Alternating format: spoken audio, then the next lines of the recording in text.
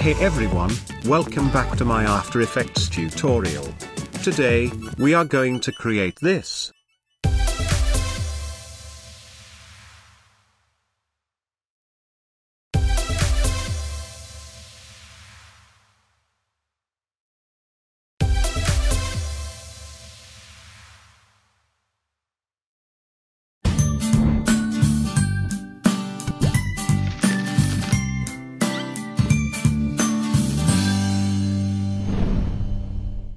So let's get started. Open After Effects and create a new composition. Let's call it Elegant Logo Animation.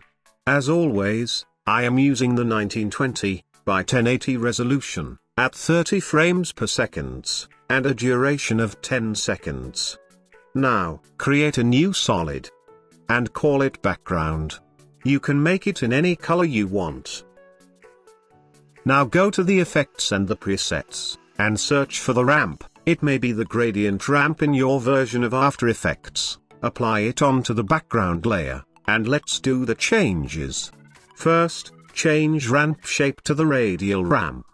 And then click on the swap color, if swap color option is not available in your version, then change the color manually, just replace color white with black, and black with white. Now place the top anchor point to the center and the bottom point far away from the center. Now you have this nice looking background. Cool. It's time to import our data into the project. I have the logo, lens flare, and logo intro music, made by the Maximus. You can check their channel link in the description. First, place your logo on the timeline, and adjust the size if you need. Now right click on your logo, and pre-compose it, Let's call it logo here, and then make sure to select move all attributes option. I am going to make this logo a 3D layer, so we can rotate it. If you don't see your switches tab here, press F4 to switch between. If your F4 key is on a mission to find the vibranium, then right click here, go to the columns, and select modes, and switches together, because we are going to use both options. Now click on this cube icon to make your layer 3D. Go to the 1 second forward. Then press P, to open position, and add a keyframe on it. Press R, to open rotation, and add keyframes on these X, Y, and Z rotations as well. Press S, and add a keyframe on the scale as well. Now, press U, to open all keyframes, Go to the first frame. And first change the position of it. Meanwhile, change the X rotation to 90 degrees. Y rotation to 1 times, or 360 degrees. And Z rotation to 120 degrees. You must be thinking, how the hell in this world I know the exact number of it? It is because, I am recording this tutorial 12th time. Every time I tried to record this video, my computer tried to shut down by its own. It's not artificial intelligence, just some random power cuts. Here we have this boring animation. As you can see, this animation doesn't have the depth like we had in our intro, it is moving around this axis only. So let's fix this. Go to the first frame and then, press A, to open anchor point, and change the last anchor point value to 250. Now we have the depth we need. Perfect, this looking much better.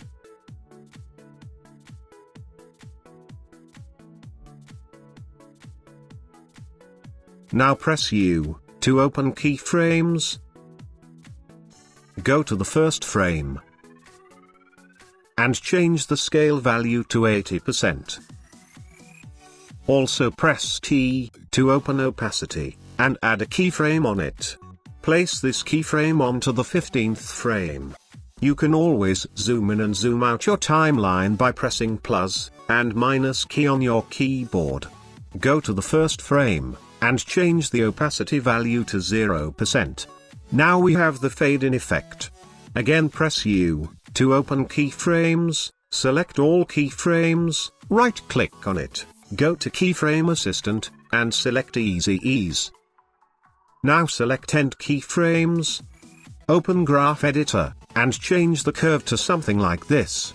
If your graph doesn't look like this, right-click here, and select Edit Speed Graph.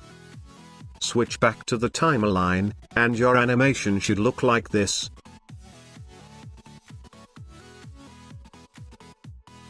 Let's place this scale end keyframe on 6th second, just to increase our scale animation timing. Perfect.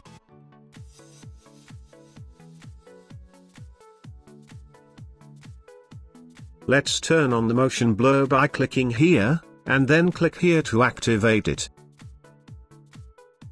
Minimize this layer, and then make a new solid. We will call it the reflection. Make it to the comp size, and then hit OK. Now go to the effects and the presets, and search for the fractal noise. Apply it onto the layer, and adjust a few settings. First of all, change contrast to 150, and brightness to negative 50. Most important, change the fractal type to max. Now expand this transform option, and uncheck this uniform scaling. Here in the below, change the scale height value to 2000. And scale width to 30. It's time to animate it. Make sure you are in the first frame. And then add a keyframe on the offset turbulence. Go to the end frame, and change the first offset turbulence value to 1500. Here we have this kind of animation. Now again go to the effects and the presets, and search for the fast blur. Apply it onto the same layer, and then increase the blurriness to 40, and check this repeat edge pixel. Cool. Now right click on it, and select Pre-Compose. We will call it Reflection, and make sure to select Move All Attributes into the new composition. Now select this logo comp, and press Ctrl plus D, to make a duplicate of it. Place this logo comp on top of all layers. And then, in the reflection layer, change the track matte to alpha matte. Here you can see our reflection is having this logo shape. But it has changed the color of our logo. So, change its blending mode to the screen. Now select your logo layer. And then go to the effects and the presets. Here search for the linear wipe effect. Apply it onto the top logo layer, and then follow my step. As you can see, this reflection is covering my entire logo, but we want it to place over half logo only. So here change the transition completion value to 48%. And wipe angle to 0 degrees. Now we have this reflection on our half logo. But the edge is looking too hard. So increase the feather value to 20, and now it is much softer. Let's make it 60, for more soft edges. You are always free to adjust the look according to your need. Perfect, this looks good to me. It's time to add shadow to it. You can skip this step because it will take the high processing power to render the shadow. But if you want to burn your computer, then follow this step. For generating the shadow, we need to create a floor for it. For doing this, make a duplicate of your background layer, and rename it as the floor. You can delete the gradient ramp from this floor, because we don't need it. Now make this layer a 3D layer. And the press R, to open rotation. Here change the X rotation value to 100 degrees. And then go to the tools, and select the shape tool. Press and hold on it, and then select the ellipse tool. Double click on it to apply it onto the layer. Now, let's add some feather to it, to make the edges smooth. Press F to open feather, and change the feather value to 200 pixels. But we still have these hard edges. So, expand this mask option. and change the mask expansion value to negative 190 pixels. Now press S, to open scale, and change the scale value to 500%. But it is covering our logo. We have to change the position of this floor layer, so that it will be below our logo layer. After selecting the floor layer, we would have these arrows to change the position of this layer. Simple grab the arrow which is pointing to the bottom, and then slide it below to change its position. Cool. I am keeping this distance. Now, create a new light, yes we are doing it for the first time. I am using a spotlight, and make sure to check this cast shadow option, also, my shadow darkness, and shadow diffusion is set to 100.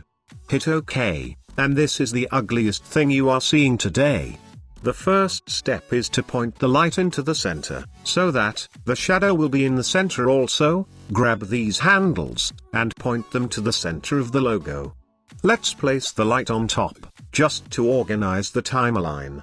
Select the floor layer, and minimize its all properties. In the bottom, you will find this material option, expand it, and then turn on the cast shadow. And also, turn off this accept lights. Scroll to the top. And expand this logo layer as well. In its material options, turn on the cast shadow. And here we have this nice looking shadow, but it is too dark. So expand this light layer, and then the light option. Here change the shadow darkness to 50%. As well as, change the shadow diffusion to 50. Or you can keep the setting which you like the most. It's time to add our lens flare to it, but before, let's make some room for it. Select all layers, and press U, to minimize all the layers. Place this video on top of all layers. And then change its blending mode to screen. Make a duplicate of it, right click on it, go to the transform, and select flip horizontal. Now press T, to open opacity and change the opacity value to 25%. Last time go to the effects and the presets, and this time search for the hue saturation effect. And then change the master hue value to 135 degrees. RAM preview this, and our animation is complete, I'll see you next week. Thanks for watching this tutorial, have a good day.